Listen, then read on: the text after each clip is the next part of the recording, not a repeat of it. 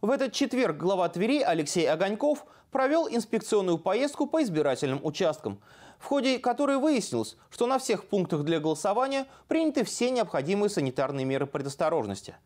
Каждому, кто приходит, не только измеряют температуру, но и выдают одноразовые перчатки, ручки, так что голосование проходит абсолютно безопасно. Городская администрация провела большую подготовительную работу. Мы сейчас про несколько участков проехали, посмотрели обстановку. Э, все участки э, оборудованы э, средствами безопасности. Все участки будут обрабатываться дезинфекционными растворами в соответствии с установленными графиками. Такие же строгие требования соблюдают руководители крупных предприятий, которые решили организовать на своей территории пункты для голосования. Это проводится впервые за мою трудовую деятельность.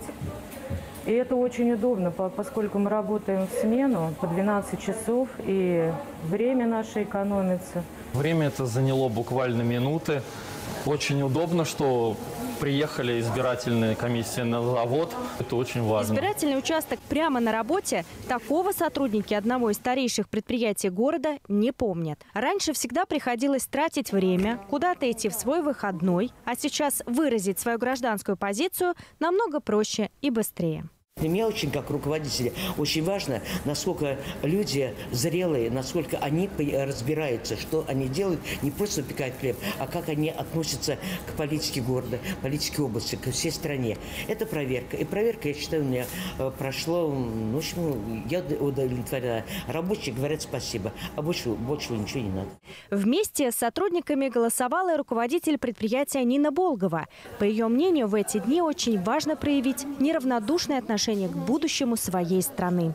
У меня есть своя гражданская позиция. Понимаете, сегодня можно много говорить о том, что э, где-то хорошо, где-то плохо и так далее. Каждый должен начать себя. Проголосовать можно с 25 июня по 1 июля с 8 до 20 часов. При себе нужно иметь паспорт гражданина Российской Федерации.